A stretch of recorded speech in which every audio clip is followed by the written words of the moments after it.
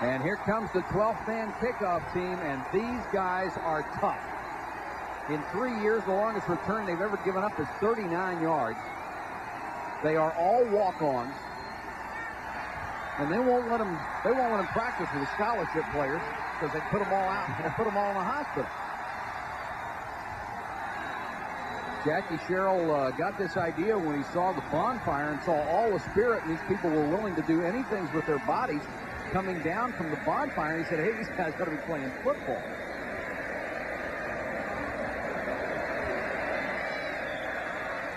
They are allowed to come to this away game because it's the final regular season game, and the seniors don't count toward the roster.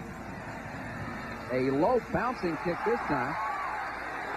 It will go back to the 27-yard line as Jones is really upended, and Danny Balcar down to make the tackle.